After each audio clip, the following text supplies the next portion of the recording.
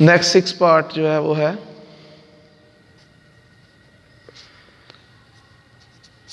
Two over X minus nine is equal to one over X minus three ये भी हम जो हमने फिफ्थ पार्ट किया है, उसी की तरह पहले हम इस इक्वेशन को सिंप्लीफाई करेंगे, जैसे हमने ये वर्किंग की है। बिल्कुल उसी तरह। फिर जब इक्वेशन स्टैंडर्ड फॉर्म में आ जाएगी तो फिर उसकी फैक्टराइजेशन करेंगे तो इसका जो एलसीएम है, इस क्वेश्चन की तरह, क्योंकि ये दोनों डिनोमिनेटर जो है, वो सिंपलेस्ट फॉर्म में है, मज़ीद सिंप्लीफाई नहीं हो सकते, और दोनों में कुछ भी कॉमन नहीं है कॉमन मल्टीपल नहीं है तो लिहाजा दोनों का प्रोडक्ट एलसीएम आ जाएगा।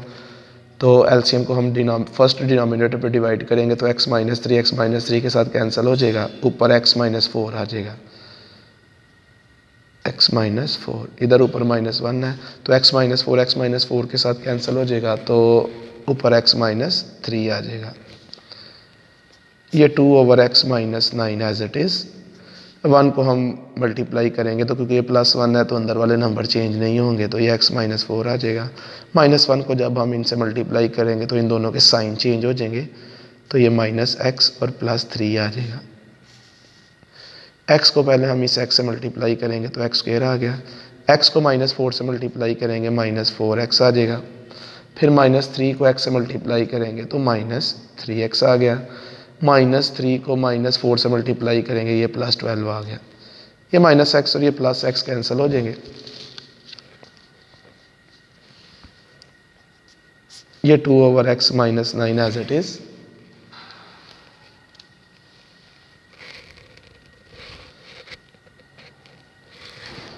इधर से हमारे पास माइनस फोर प्लस थ्री तो ये इन दोनों को ऐड करेंगे तो माइनस वन आ जाएगा।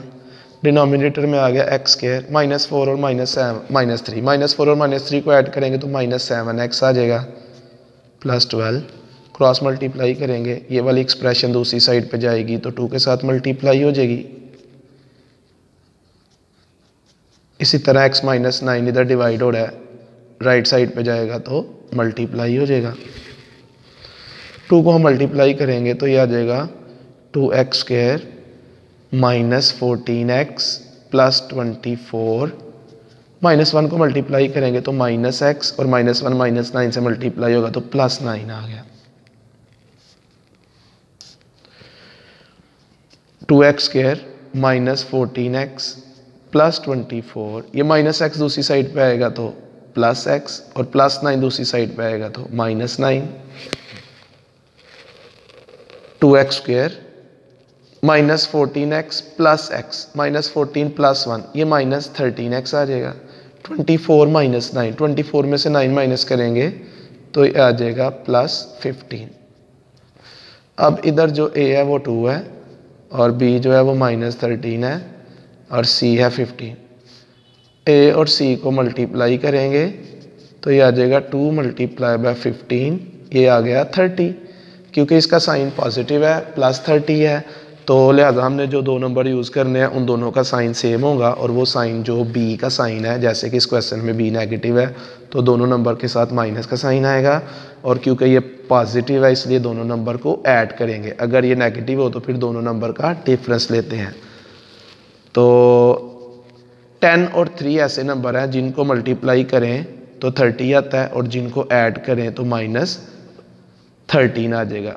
क्योंकि इसके साथ माइनस है तो टेन के साथ भी माइनस और थ्री के साथ भी माइनस आएगा। तो माइनस टेन और माइनस थ्री को ऐड करेंगे तो माइनस थर्टीन आ जाएगा और माइनस टेन को माइनस थ्री से मल्टीप्लाई करेंगे तो प्लस थर्टी आ गया। तो ये इक्वेशन जो है, वो कुछ इस तरह से आ जाएगी। Two X square minus ten X minus three X plus fifteen is equal to zero पहली दो टर्म में से टू एक्स कॉमन है। ब्रैकेट में एक्स माइनस फाइव आ जाएगा। इन दो में से माइनस थ्री कॉमन आएगा। ये जो साइन होगा, ये आपने इधर कॉमन ले लेना। माइनस है तो माइनस, प्लस है तो प्लस। इससे फिर ये ब्रैकेट जो है वो सेम आएगी, ब्रैकेट के साइन भी सेम होंगे। अब हमने माइनस थ्री कॉमन लिया है तो ये माइनस तो बाहर आ गया तो अंदर एक्स आ गया।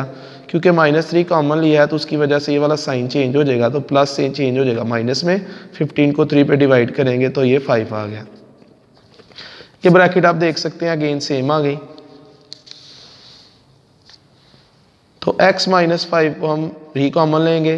तो इधर से हमारे पास टू एक्स आ जाएगा और इधर से आ गया माइनस थ्री दोनों फैक्टर्स को हम ज़ीरो के इक्वल पुट करेंगे। रीज़न मैं आपको फ़र्स्ट क्वेश्चन में बता चुका हूँ। माइनस फाइव दूसरी साइड पे जाएगा तो ये आ गया प्लस फाइव एक आंसर आ गया प्लस फाइव माइनस थ्री दूसरी साइड पे जाएगा तो प्लस थ्री टू मल्टीप्लाई हो रहा है, उस साइड पे जाएगा तो डिवाइड ये हमारे पास सेकेंड आंसर आ गया। दोनों को हम सोल्यूशन सेट में लिखेंगे।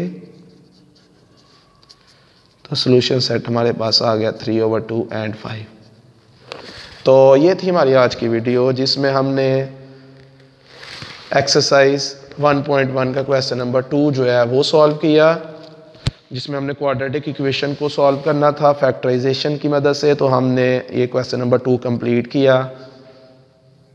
अगर आपको वीडियो अच्छी लगी हो तो आप चैनल को ज़रूर सब्सक्राइब करें और बेल आइकन को भी प्रेस करें। और ताकि आप जो है वो मज़ीद वीडियोज़ जो हैं मैथ से रिलेटेड, स्टैट से रिलेटेड और इकनॉमिक से रिलेटेड जो है वो देख सकें। तो आज के लिए इतने काफ़ी है, बाकी इन कल, ओके, अल्लाह हाफिज़।